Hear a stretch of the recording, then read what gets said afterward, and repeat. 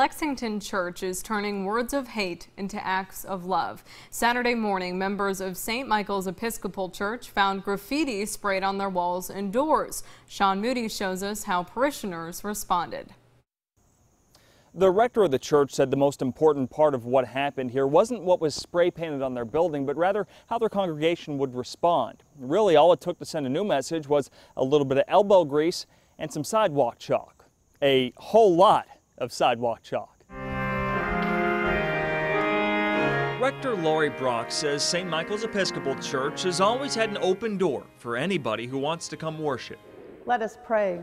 But she never expected that door to look like this. And yesterday, we were on the receiving end of what I think was a very poor choice. That spray paint showed up a couple of days ago. It feels violating and it makes me feel angry. It didn't take long for the church members to clear it all off. With a pressure washer and some scrubbing, it all came off pretty quick.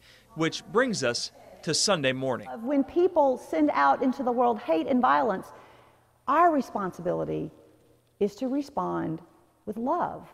Teenage boys are not the only ones who can graffiti things. No matter what happens in life, always love. Love always wins. I just see a loving community wanting to respond in positive ways to a negative act. After about 10 minutes, there was a lot more love out there than any of that hate. It reminds us that we really all are brothers and sisters in a loving God. In Lexington, Sean Moody, WYMT Mountain News. Mm, what a great story. Former church members who drove from Indiana to help clean up the graffiti donated all of that sidewalk chalk.